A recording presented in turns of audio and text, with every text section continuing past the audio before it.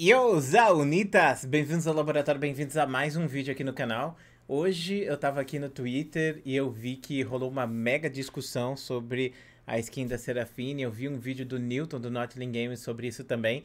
E eu resolvi gravar um vídeo falando sobre o meu ponto de vista em relação a isso tudo. Se eu gostei, é muito importante, deixei no começo do vídeo. Convido você a se inscrever no canal do Laboratório para não perder nenhum dos vídeos que a gente lança aqui todo santo dia.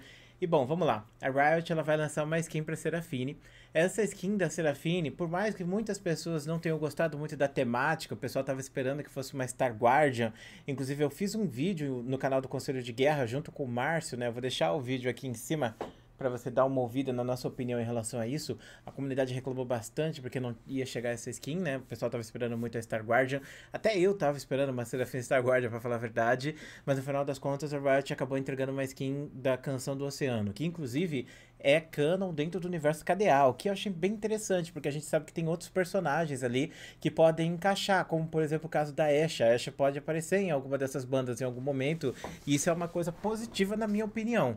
Por mais que essa temática ela não encaixe muito com o momento que a gente está vivendo agora no Brasil, porque a gente está agora na época de inverno, né, nos Estados Unidos, que eles estão entrando no verão. E muita gente ficou pensando sobre a skin Prestígio que a Serafine ia receber, né? A skin Prestígio da Serafine, ela gerou muita discussão, assim como todas as novas skins Prestígio estão gerando. O que está acontecendo é o seguinte, a Riot ela criou um novo sistema Prestígio que eles estão chamando de Prestígio 2.0. Só que o Prestígio 2.0, na minha humilde opinião, até agora, o único que foi bom mesmo foi o do Talon. As duas skins que a Riot revelou até agora, três no caso quanto a Serafine, não estão meio que se pagando, na minha opinião. Mas, de qualquer maneira, essa skin gerou discussão porque o pessoal foi lá e mandou feedback, falou que a skin não estava tão bonita. E a Riot fez alterações na skin, né? E olha só as alterações que a Riot fez na skin, que a comunidade surtou. Olha só isso, vou passar aqui pra frente deixou o cabelo da personagem, aqui você vê que o cabelo dela tá bem menor, né? E aqui o cabelo dela tá bem maior. E aí, tipo, essa foi a mudança que a comunidade surtou, né? Tipo, falaram que a antiga tava 100 vezes melhor do que a Serafine nova com cabelo maior. Tipo, eu, sinceramente, acredito que o segundo cabelo visualmente pelos prints está muito inferior, está muito pior do que o original. Então, nesse caso aqui é uma mudança que a Riot fez que piorou bastante a campeã, né? Ainda mais para uma skin prestígio. E a comunidade está reclamando muito sobre isso. Só que a gente tem que pensar também no fato de que isso é para feedback, né? Esse é um espaço que a Riot abre para você mandar mensagem para eles, para você pegar e responder e falar se você achou que ficou legal ou não. Eles fazem as alterações baseado nisso.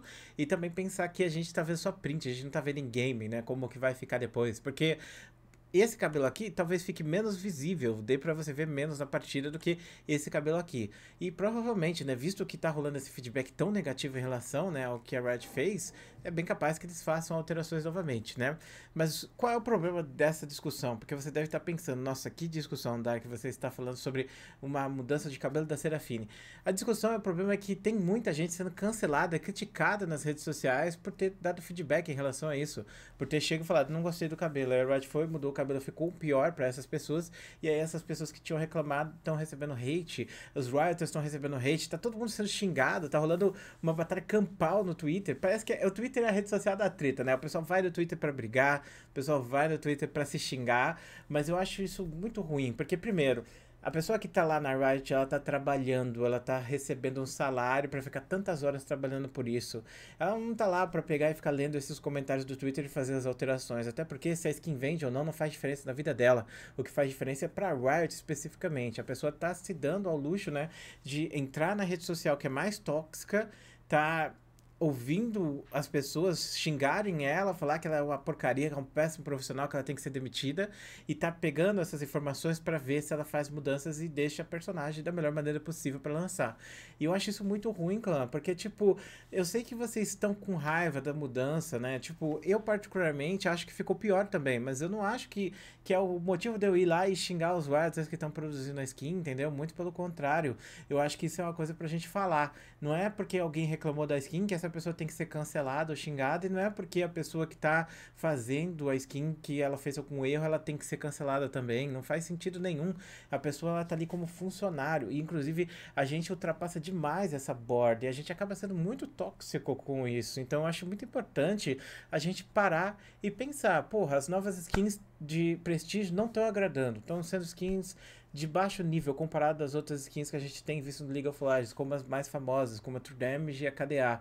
Então, o que, que a gente pode fazer? A gente pode mostrar isso, tipo, engajando menos com esse tipo de conteúdo, comprando menos esse tipo de conteúdo e dando esse feedback, falando que, que a gente não tá curtindo. Eu, por exemplo, eu não tô curtindo as skins Prestígio, então o que eu tô fazendo? Eu tenho feito vídeos aqui para comentar com vocês a minha opinião em relação às skins Prestígio, e isso vai para Riot também, e feito postagens e, e não tô engajando, não tô comprando essas skins, né? Eu até comentei com o Newton sobre isso, tipo, a gente viu lá aquela skin da, da cena, e muita gente ficou, meu Deus, a cena vai custar 400 reais. Cara, a skin não vale 400 reais. Não tem uma skin do LoL que vale 400 reais.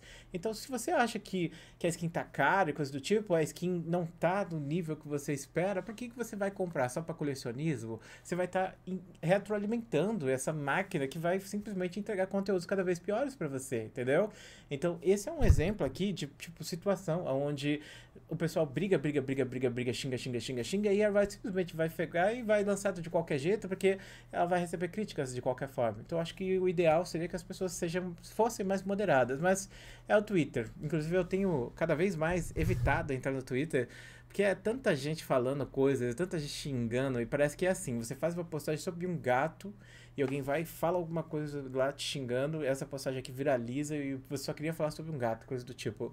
Então, isso tem sido cada vez mais com, é, comum no Twitter, né? Então, eu tô deixando de lado um pouco essa rede social. Inclusive, hoje era um dia que eu nem ia fazer vídeo a mais, e ó, só para vocês verem como tá a situação aqui, ó. Estou aqui, né, com o League of Legends aqui, ó, mas de fundo aqui, ó, o meu V-Rising aqui de fundo, meu vampirinho. Sim, comprei essa porcaria. Essa porcaria não é uma porcaria, é um jogo bom, vai. vai. Tá, tô começando, tá? Tem umas 5 horas de gameplay, 6 no máximo. Então eu tô vendo ainda qual é o que esse jogo pode oferecer. Tô gostando bastante, achei bem interessante. E é isso, mano. Acho que vale muito mais a gente não ficar tendo essas dores de cabeça, não ficar tretando e não ficar cancelando a galera. A opinião é opinião. Tem gente que gostou, tem gente que não gostou. Não vou reclamar da pessoa que não gostou do cabelo da Serafira ou que gostou, entendeu? Ainda mais quando a gente para e pensa, a gente tá brigando no Twitter por causa do cabelo de um personagem, de um jogo online, sabe? É meio absurdo, na minha opinião, pelo menos, né? Mas enfim, não me cancelem. Um grande beijo, um grande abraço, a gente se vê depois.